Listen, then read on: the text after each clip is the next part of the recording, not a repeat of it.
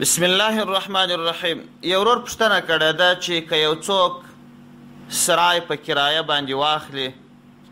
او دې سرای ته اوبه د اوبو پیپ راغلی وي او هغه د اوبو پیپ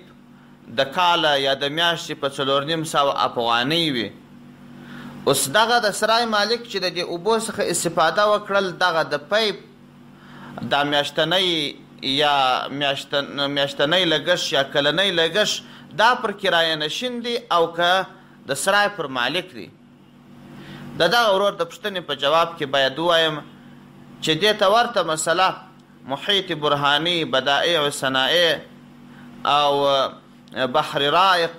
په تاوا یې هندیه را نقل کړې ده، بحر رایق نه مبسوط ته سرخسي، مبسوط ته سرخسي، محیط برهاني، بدائع الصنایع، په تاوا یې هندیه را نقل کړې ده، په ټولو کې یې داسې ویلي دي چې د څا و و اصلاح بئر الماء والبالوعه د څا، د اوبو څاه چې دی د دې اصلاح او همدا ډول د هغه د ضرورت د ځای د بیت الخلا اصلاح او همدا ډول د سرای خټې وو ناوه وو د اوبو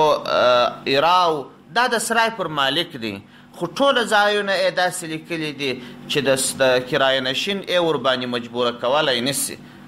که چيرې هغه ابا وکړل دی حق نه ورباندې لري. نو د هغو ټولو خبرو څخه دغه مسئله معلوميږي چې دغه د اوبو حق دا چون دا کرايه نشين استفاده ځنې کړې ده، او دا اوبه ده استعمال کړي دي که يې چيري هغه په خپله خوښه ورکړي ورکوي به که يې ورنه کړي ده يې ورباندي مجبوره کولای نه شي او که يې شرط ورباندي ايښيي چي دوغنه قدر پيسې د اوبو راځي دا به ته موږ ته راکوې نو دا داسي مثال لري لکه کرایه چي کمه وټاکي بیا نو د سرای پر مالک دی فتاوای هندیه جلد څلورم صفحه څلور سوه پنځه پنځوس والسلام علیکم ورحمة الله وبرکاته.